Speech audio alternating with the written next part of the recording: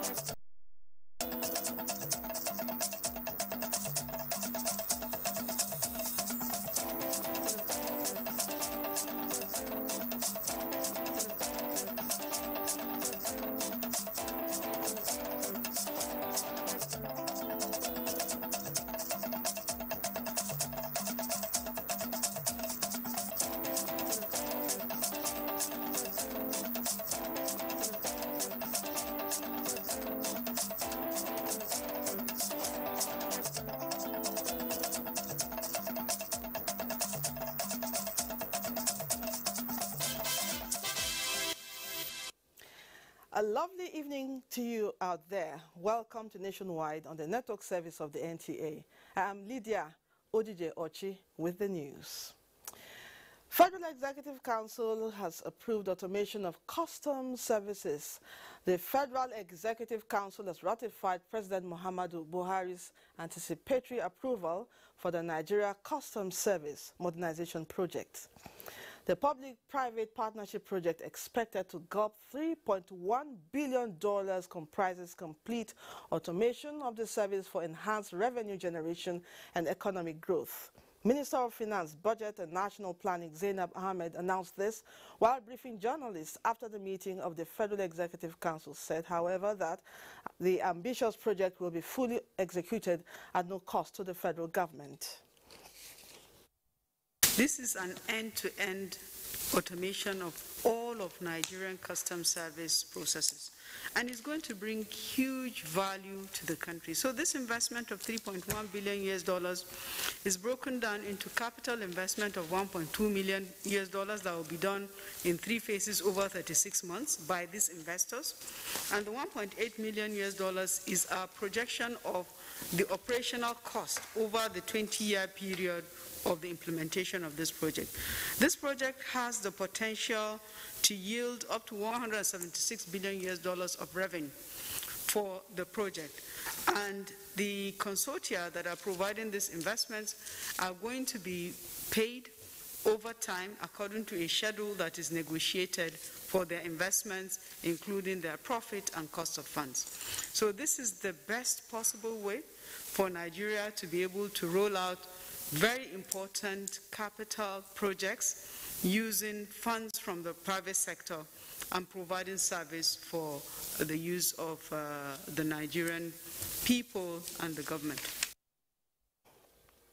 In another development, the presidency has formally reacted to what it described as utter falsehood and disgraceful lies. A media report claiming that Sarki Abba, President Buhari's aide, is COVID-19 positive. In a statement, the senior special assistant to the president on media and publicity, Garba Shehu, says the report is sheer fabrication and brazen effort by the online news medium called digital newspaper to mislead the public. The presidency therefore wishes to advise the general public to ignore such stories that are intended to mislead the people and create unnecessary anxiety about the safety of the president. The statement explains that upon the directive of doctors, all staff working for and around the president are routinely and rigorously checked for the virus under the supervision of the chief of staff, Professor Ibrahim Gambari, the Senior Special Assistant to the President on Social Affairs and Domestic Matters, Sarki Abba, always tested negative for COVID-19. President Muhammadu Buhari has expressed deep concern over the heavy flooding that destroyed farmlands, farm produce, houses, and other personal belongings in parts of Kebbi State. The president described the incident as a setback to the nation's efforts at boosting local rice production as part of measures to stop food importation. He noted that Kebbi State is the focal point of the federal government policy to produce rice locally as part of this administration's commitment to agricultural revival, which suffered relative neglect in the past. President Buhari noted that the bad news couldn't have come at a worse time for our farmers and other Nigerians who looked forward to a bumper harvest this year in order to reduce the current astronomical rise in the cost of food items in the markets. While sympathizing with the bereaved families and farmers affected by the devastating floods, the president promised to work closely with the Kebbi State government in order to bring relief to the victims. Remedial work has commenced on the damaged portion of the Rigachikun Bridge along Kaduna Zaria Highway. Abdullahi Mohammed is standing by for a live update.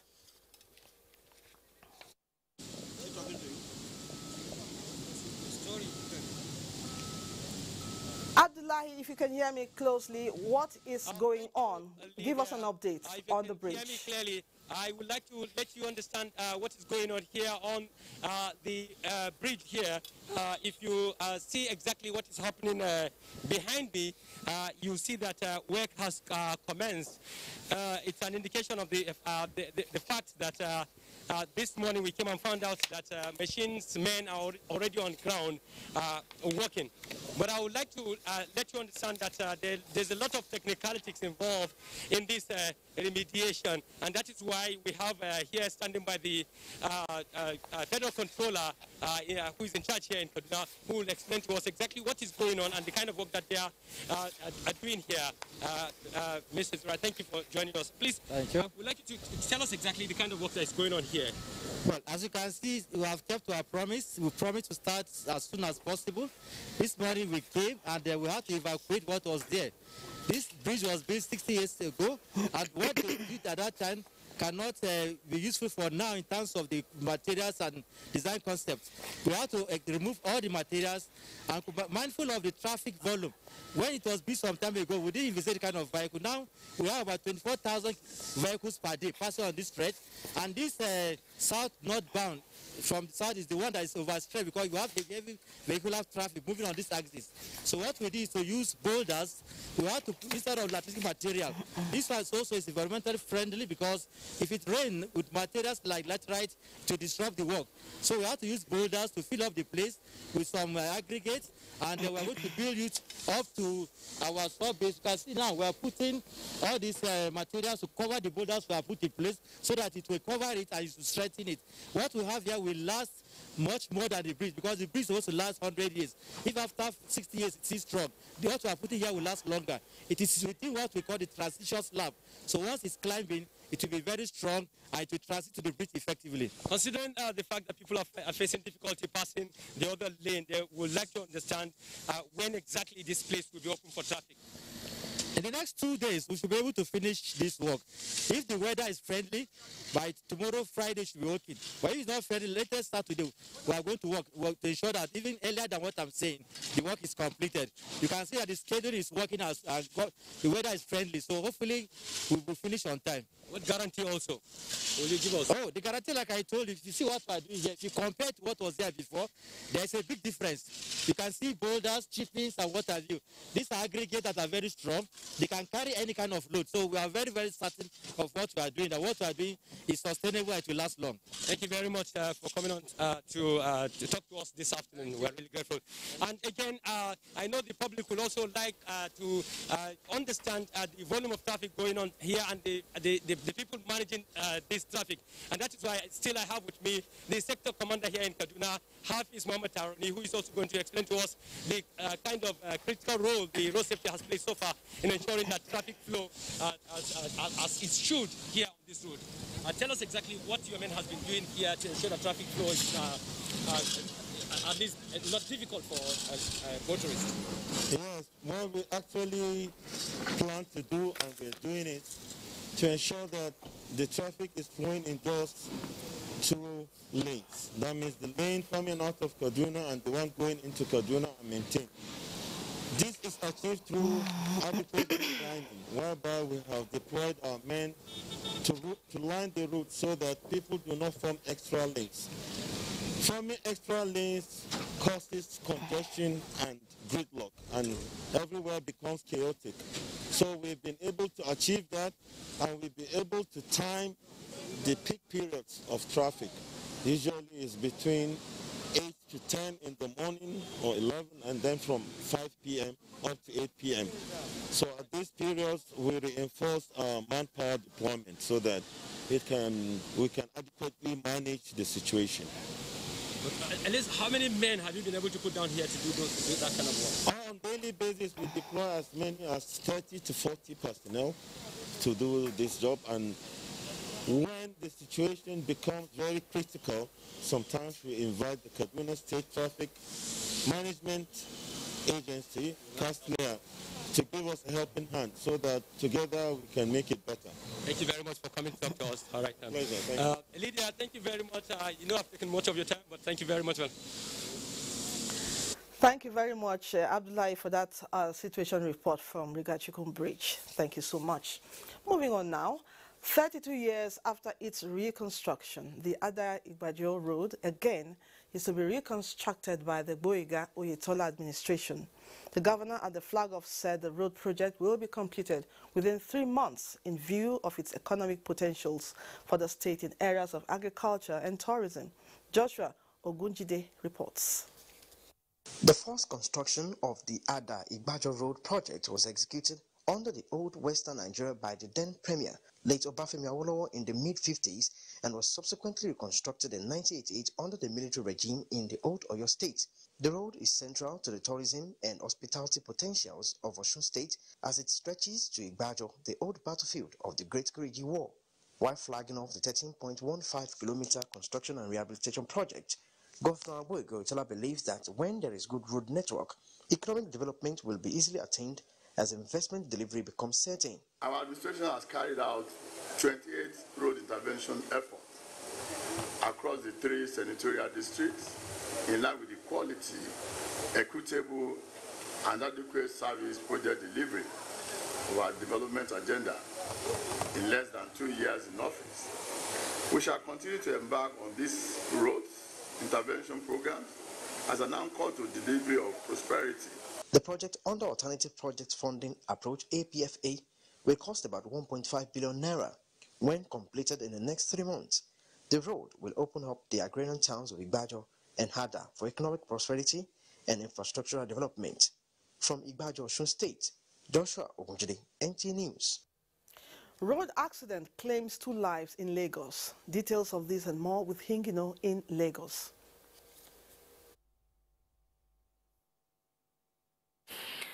Thank you, Lydia. The fatal accident that claimed two lives on the Badagry Expressway in Lagos Tuesday night have been attributed to recklessness on the part of the drivers. Amakao, who visited the scene, reports that the incident resulted in a gridlock on the expressway. That was the mood along Badagry Expressway Tuesday night.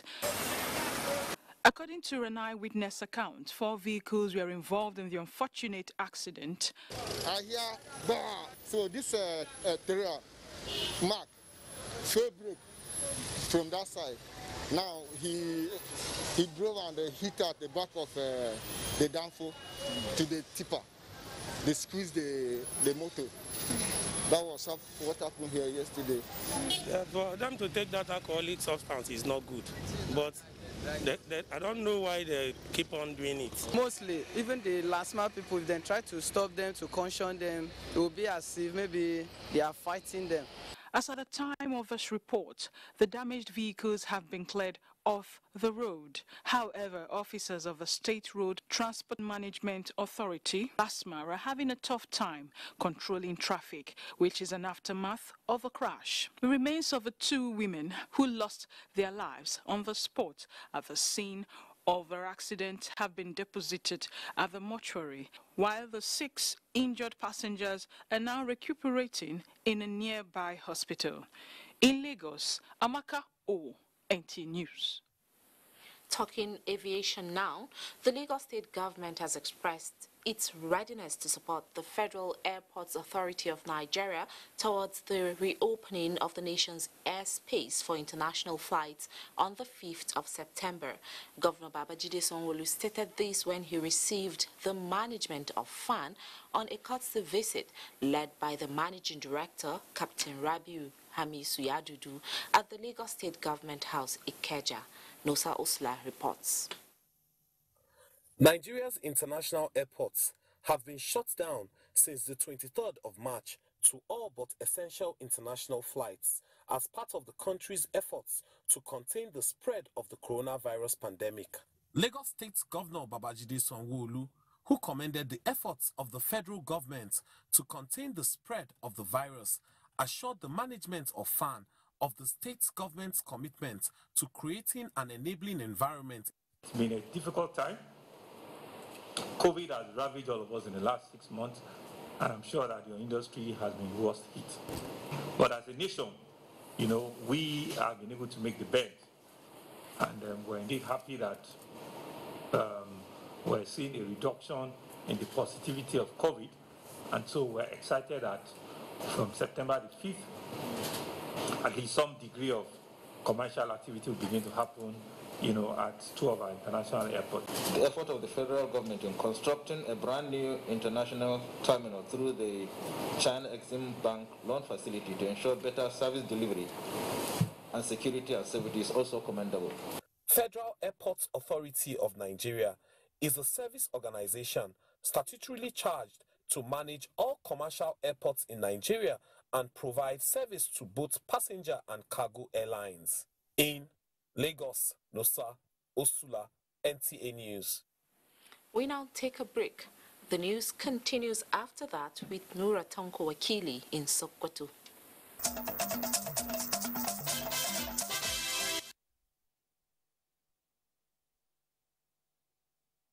Welcome back. News continues in Sokoto. Sokoto State Government has pledged sustained support to the activities of the National Boundary Adjustment Commission in the state. The State Deputy Governor Manir Muhammad Dania, who doubled as the chairman, State Boundary Adjustment Committee, made the disclosure while hosting officials of the commission on a courtesy visit at his office. Dalat Abdullahi reports. In Sokoto State, Nigeria shares border with Tahoua region of Niger Republic for a distance of about 97 kilometers from Bachaka in Gudu local government to Dantika village along the Isa Zurmi border.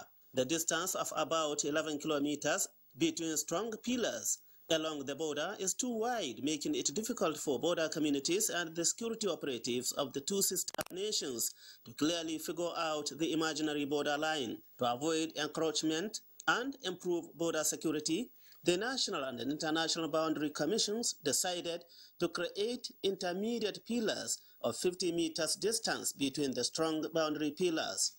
Officials of the commissions, including that of Niger Republic, planted 46 intermediate pillars between strong pillars 48 to 49 from Runguma Warjao in Araba district of Ilela local government to Tufalbaba village in Gada local government.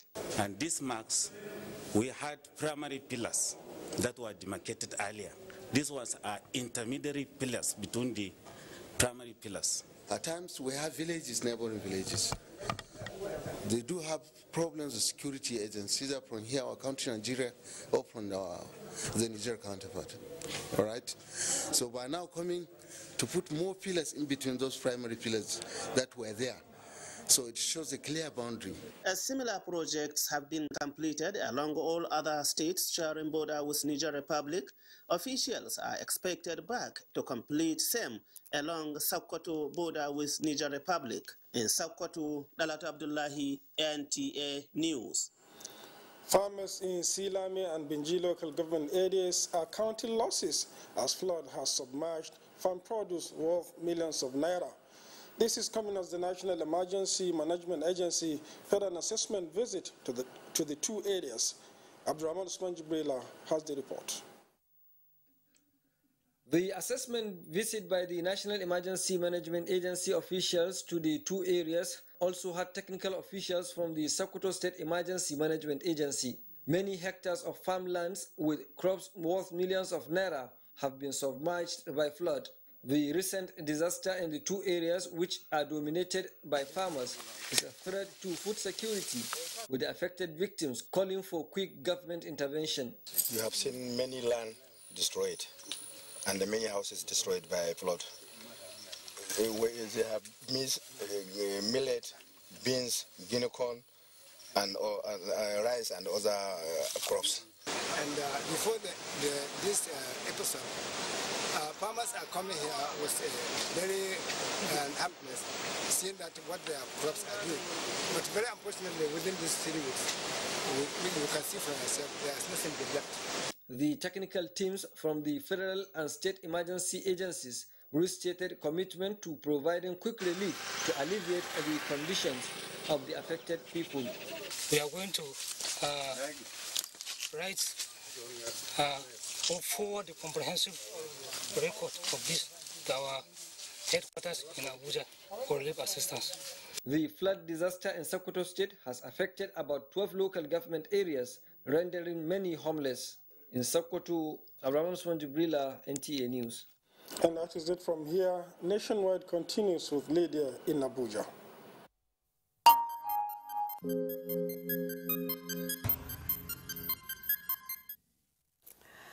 We now continue with NCDC update. Nigeria Center for Disease Control has confirmed 239 new cases of COVID-19 in 15 states of the Federation as at 1st September 2020. A breakdown of the figures show that Plateau State still has the highest confirmed cases of 116, followed by the FCT with 33. Then Lagos with 19 cases, Ekiti has 12, Kaduna and Ogun states have 11 cases each. Others are Ebonyi State with 8, Benue 7, Abia and Delta recorded 5 cases each, while Ondo State has 4, Edo State with 3 new cases, Imo and Osun both have 2 new cases, and Bauchi State has 1 case. So far, Nigeria has 54,247 confirmed cases of COVID-19, out of which 42,010 patients were discharged, while 1,023 have died of the virus. The Nigeria Center for Disease Control NCDC has continued to advocate need for states to take ownership and sustain the activities of their emergency operations centers by creating independent budget for their operations.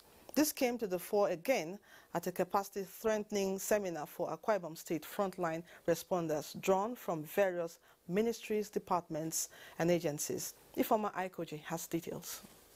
Lessons learned from Ebola and other outbreaks. The NCDC, under the leadership of Dr. Chikwe Ihekweazu, had initiated the establishment of public health emergency centers across Nigeria to further strengthen the effectiveness and efficiency of such emergency operations center in Akwa Ibom State. The NCDC has begun a capacity strengthening program on fundamentals of emergency response management to coordinate the actions of key stakeholders in support of the incident management activities. By so doing, our knowledge and capacity has been improved.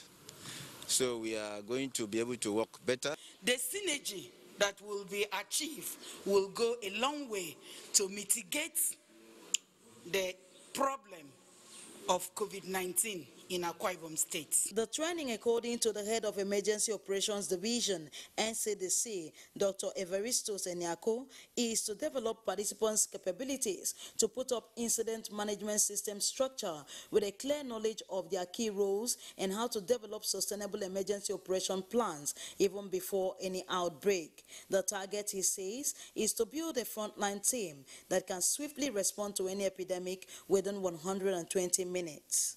So we develop different SOPs, even business continuity plans, to ensure that the EOC runs after establishment. The 10-day-long program has the support of Akwa Ibom State Government in Uyo, Ifoma Aihoji, NTN News. The Nigerian Medical Association in Cross River State is protesting the incessant abduction of its members, especially the recent kidnap of one Dr. Vivian Otu, who is yet to be released by her abductors. Uh, the doctors walked through major streets in Calabar to the Cross River State House of Assembly to register their plight while demanding for legislations that will sanction perpetrators. Maureen Leo Ajam reports placards with inscriptions such as Free Dr. Vivian Otu unconditionally, Make Cross River State free again, and Stop Kidnapping in Cross River State, among others. The doctors say enough is enough. They lamented how doctors save lives on a daily basis to only be paid back with a traumatic life in the hands of kidnappers, which sometimes result in the death of most members. What is hindering the state governor from assenting this bill because there's no state legislation against kidnapping. We're making the state governments, every arm of government, the legislature, the judiciary, to rise up to their responsibilities. The Cross River State lawmakers who bemoaned the spate of kidnapping in Cross River State promised to work together with the relevant agencies of government for the implementation of the bill against kidnapping, which the Speaker, Eteng Williams, says has been passed and assented to by the Cross River State Governor. If you kidnap and the person dies, it's death sentence. If you kidnap or you are a party to it, it's life imprisonment. We want to see it happen. Dr. Vivian Otu, a pediatrician, was kidnapped on Saturday, 29 August 2020, and doctors in Calabar have embarked on an indefinite strike to demand her release. In Calabar, Maureen Leo Ajong, NTA News. Enugu keys into World Bank assisted COVID-19 economy recovery stimulus. Details with Chinenye in our Enugu Network Center. Hello, Chinenye. Hello, Lydia. Thank you for joining us in Enugu. Over 500 million naira has been approved by the Enugu state government as first tranche of the COVID-19 Action Recovery Economic Stimulus Program, CARES, a World Bank-assisted intervention designed to help states recover from the economic effects of the COVID-19. The Enugu state team of the CARES program was at the government house for a meeting on implementation strategies on the two intervention areas, Susan Eze has the details. The World Bank Development Intervention Program focuses on two strategic areas, agriculture and micro, small and medium enterprises, MSMEs, to improve on the livelihood of families and the economies of states.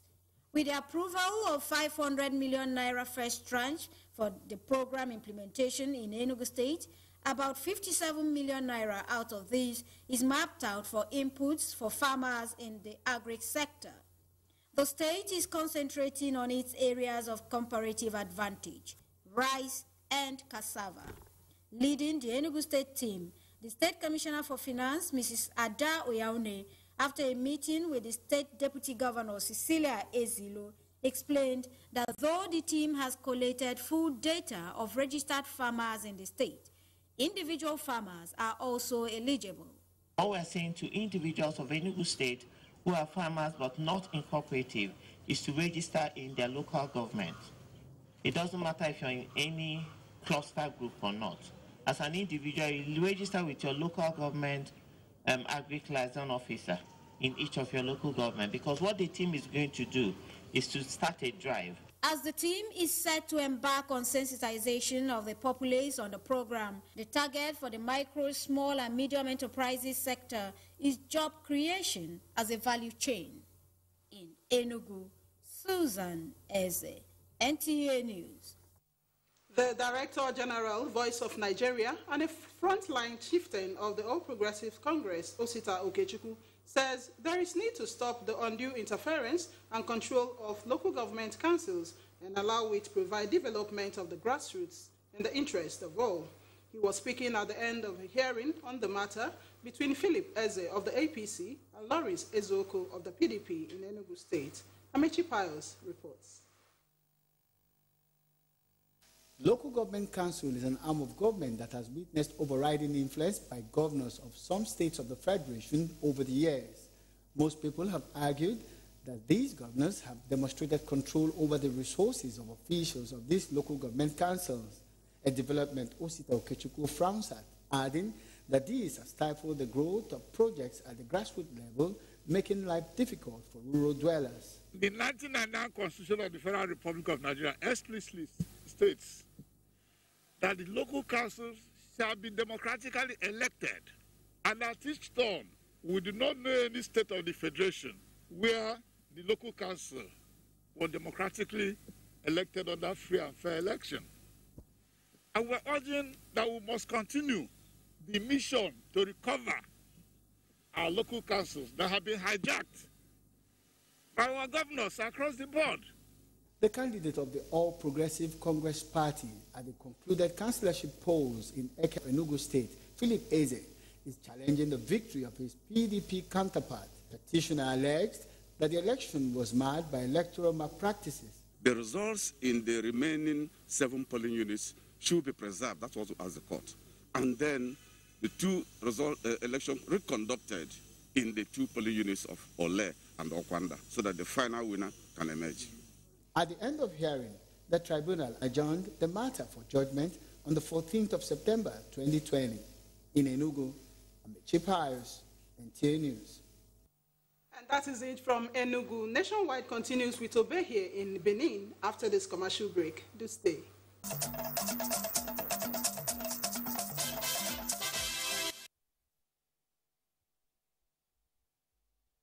And here is Benin's contribution to Nationwide. The Edo governorship election is less than three weeks away, and political parties are mopping up campaigns activities in the various wards in the three senatorial districts. Here is an update of the campaign activities of the APC and the PDP.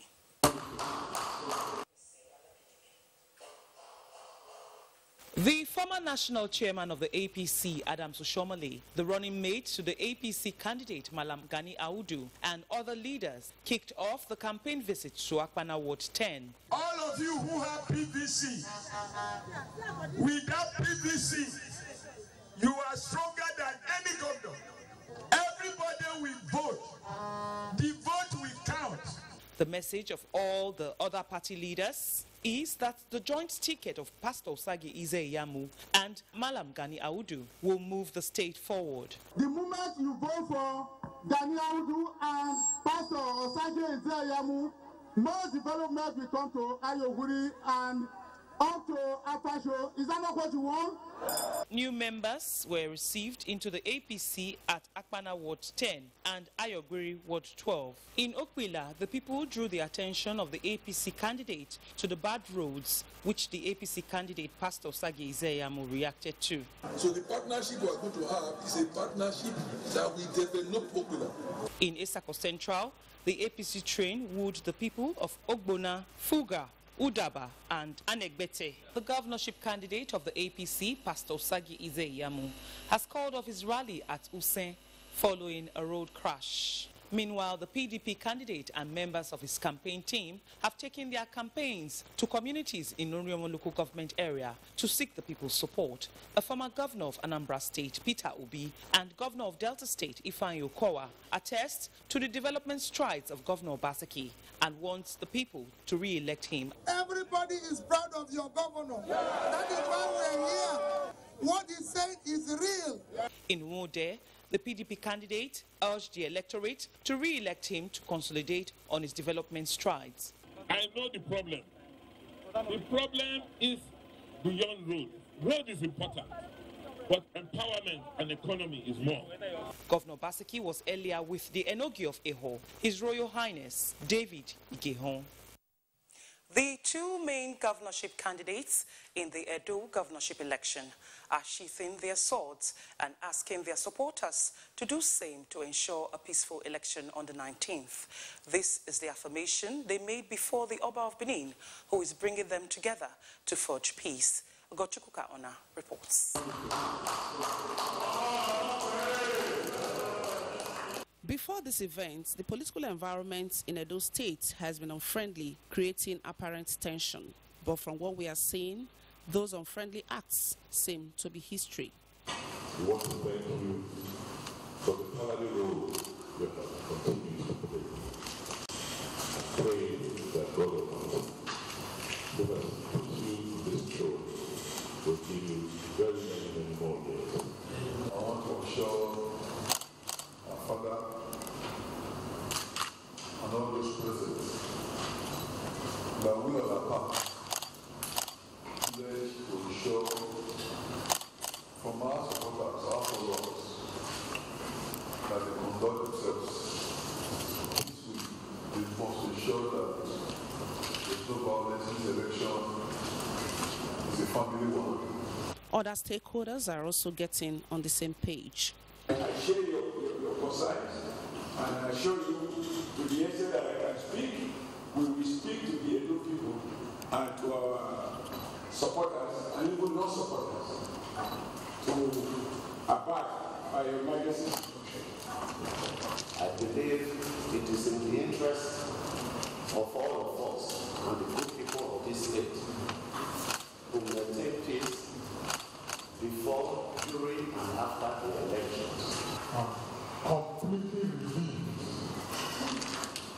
at what Your Majesty has had to say on the kind of responses that we are getting from the principal actors this pact of peace is at the instance of the Benin monarch, who is passionate about seeing a peaceful governorship election in Edo State. Please, I want to beg you, I want to plead to what I want to hear from both, both parties. From today, you have visited us, you want to assure me, one way or another, we work together with Pastor Ezekiel, together, not different because you, you are you are working. The Oba believes with this, peace has come to the political space in the state. In Benin, Ogochkuka Ona, NTA News. And that's it from Benin. Nationwide continues with Lydia in Abuja. Many thanks, Obehi. Nigeria is on the chart of flood-prone destinations in the world with approximately 100 deaths and devastating consequences on property and animal lives as impending danger continues to loom in the predicted 2020 flood alert. This imminent disaster shaped stakeholders' views on NTA's current affairs program Tuesday Live in finding deliberate measures and enforcing necessary frameworks to avert the avoidable disaster. Abubakar Usman Akwanga has more is one of the global environmental crises, especially in coastal areas, with global warming factored as one of the leading causes. In Nigeria, saturated nature of wetlands make more than 30 out of the 36 states vulnerable to flooding. Guests on Tuesday Live reassessed the chances of Nigeria surviving the threatening disaster and proffered elaborate solutions. This must be collaborated. A is capital intensive. Secondly, it, uh, it, it has sometimes it even has international dimension because the River Niger, for example, comes from Guinea through Mali through Niamey. It has been progressing as we as, as we predicted, uh, quite unfortunately, because some remedial measures, you know, steps are not taken by relevant authorities global intervention funds, internal control measures, and standard sanitation practices are some of the management systems suggested to curb the disaster. There's a lot of ecological damages from erosion in a lot of states. In fact, all the states of Nigeria, I cannot pick out any one that is exempt from that. So ecological funds will help in all of those kinds of things at the state level, and also the World Bank Erosion Control Project has elements that could be helpful in this regard. State should not be in a position to provide the necessary support technical and material to the local government. So that the local government can now be on their own. Even without direct involvement of the state the local government can handle uh, flood management issues. Other secondary effects of the challenge stakeholders say an outbreak of diseases washing away of farmlands and the mass displacement of persons. Nigeria's rising flood profile is one of the natural phenomena that requires desperate attitudinal change and regular enforcement of corrective measures to mitigate the narrative that has now assumed a dimension of monumental proportion. In Abuja, Abubakar Usman Akwanga, NTA News. Thank you, Abubakar. The National Institute for Legislative and Democratic Studies, NILDS, is ever ready to reach out to all legislative arms of government and democratic institutions in the area of capacity building for the overall interest of good governance. Director General of the Institute, Professor Abubakar Suleiman, gave this assurance when the chairman and members of the Benue State House of Assembly Service Commission visited the Institute. John Yaku has details visit is to seek collaboration with the National Institute for Legislative and Democratic Studies to advance the capacity of personnel and top management of the Commission towards optimum service delivery of the State Assembly. This is also to develop a training program for the newly inaugurated Commission to enable it hit the ground running. It is our fervent belief that cooperation between our commission and the institute will greatly enhance the legislative output of our staff. The quality of bills, the quality of law, the dynamics of oversight, the quality of representation is informed by the quality of the service staff. If we don't get the right people to work with we shouldn't expect the right policies of bills or law emanating from the House. The Institute assures that it is aware of the COVID-19 protocol and will not do anything to compromise it in its training programs. In Abuja, John Yauku, NTA News. The world over, geospatial information has been identified as a tool that provides good governance and development in achieving the SDGs. This is what stakeholders want to be imbibed in Nigeria at the 2020 Virtual Survey Coordination Conference and meeting of the Advisory Board on Survey Training put together by the Office of the Surveyor General of the Federation. Haman Germany has more. Geospatial information is a tool to track, monitor, analyze, and manage any occurrence that has a location or temporal element, as well as forecast models and analyze potential consequences from policy and event. It provides the integrative platform for all digital data that has a location dimension and it has been established that without geospatial information, the 17 Sustainable Development Goals will not be realized. The United Nations Global Geospatial Information Management Initiative established is to create a formal geospatial information coordination mechanism which maintains that the four criteria for good governance are planning, geospatial information, finance and capacity development and this is what stakeholders here are advocating in Nigeria.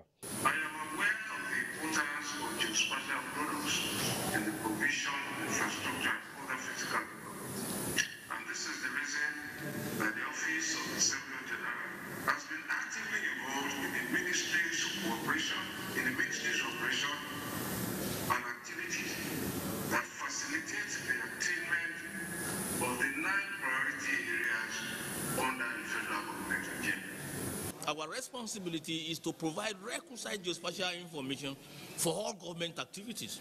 These are the responsibilities. And then what we are actually doing now again is that we are going to some agencies, we are going to government agencies, we are interfacing with them.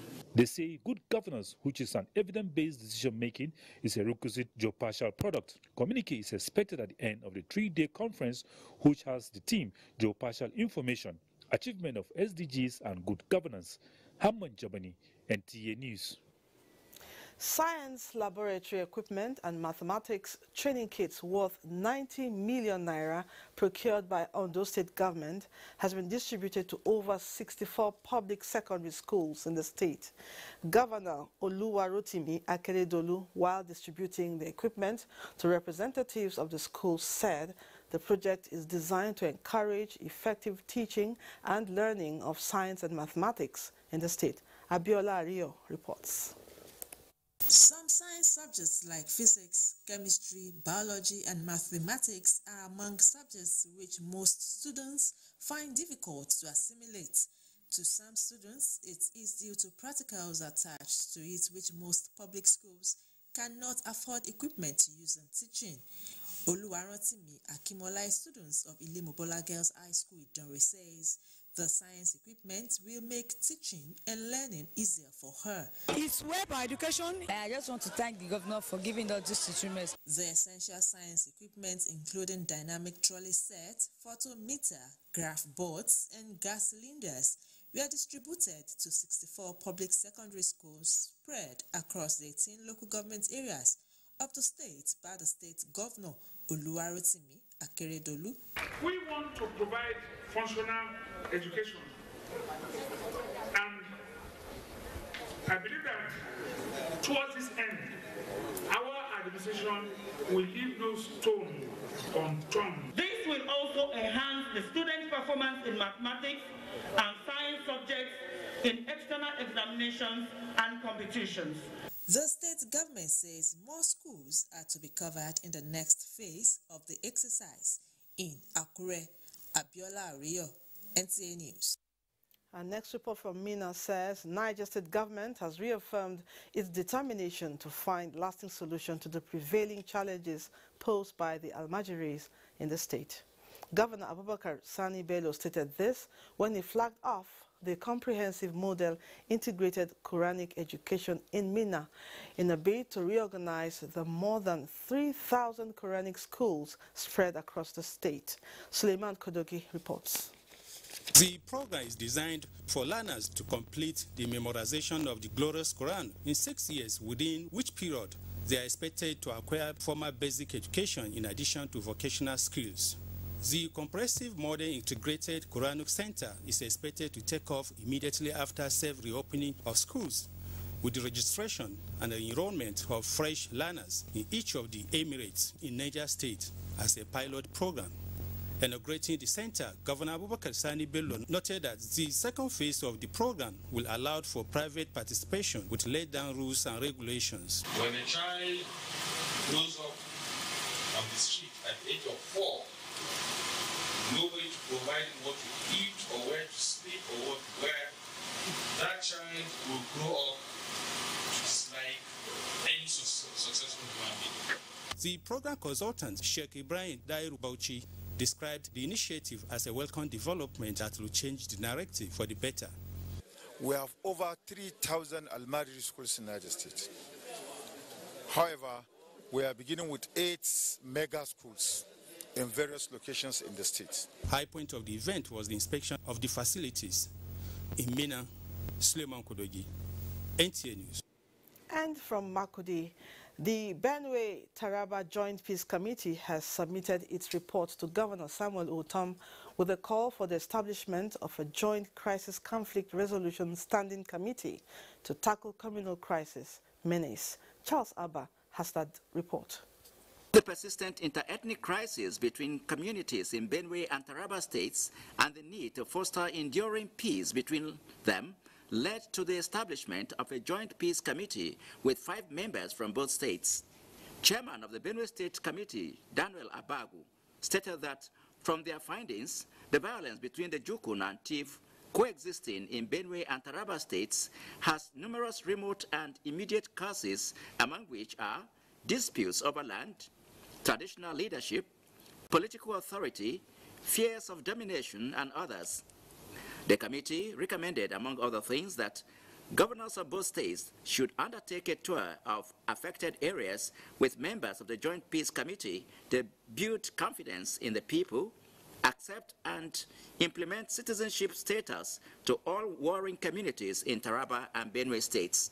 There were more than 26 outstanding agreements, especially the 10-point agenda that was put in place by the federal government in 1991-92. We want to say that if that 10-point agenda only is implemented, this crisis will stop. Uh, if there are any other thing that we can do to promote peace with our neighbors in Taraba, we'll definitely do that.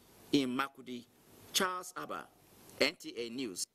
Sports is next. Rehabilitation work begins on the main ball pitch of the Moshood Abiola National Stadium as Anthony Joshua labels fight with Kubrat Pulev in Banana Skin. Details with Bade Adele on Sports Update.